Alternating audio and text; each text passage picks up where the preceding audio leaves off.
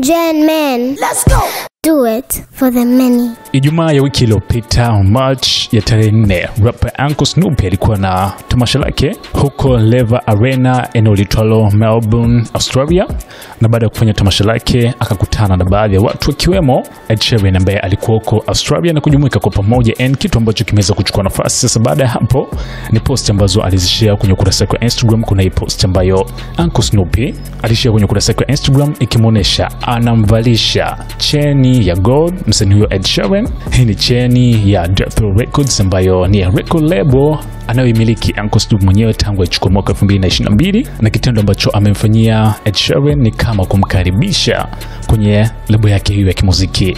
Hii ni cheni ambayo kwa mara ya kwanza ni kwenye picha ya mwanzo. Ukitazama picha hii ya kwanza utaona hapo Uncle Snoop amevalia Death Row Records gold chain, na hapo Ed Sheeran alikuwa bado hajampatia, na hii picha pili sasa inaonyesha wote ukiwa na vini hivyo, licha kuwa hii ya Ed Sheeran inaonekana ni ya gold, yani inang'aa sana. Sasa kwenye comments, mashabiki kila mmoja alikuwa nalo kwa kile kusema, wengine wakisema kuwa walitamani kuona wawili hawa wakija na collab pamoja, and kwa tabia za Uncle Snoop, baadhi ya mashabiki wakasema kuwa huenda kitendo cha Ed Sheeran kuwa na ukaribu na rapper huyo basi akawa amemvutisha vitu ambavyo ni tofauti na hali ya hewa, lakini kwa ukubwa moment ya wawili hawa ni kuonekana kwa pamoja imekuwa ni surprise kwa mashabiki, kwani hawakuwahi kutegemea ukaribu kama huu wa Ed Sheeran pamoja na Uncle Snoop na wengine wakitamani kuona wawili hawa wakiingia studio na kuleta kazi ya pamoja. Ed Sheeran ana umri wa miaka 32 lakini Uncle Snoop ni HD ana umri wa miaka 51. Una kipi cha kusema? Hii hapa ni SNS Manager.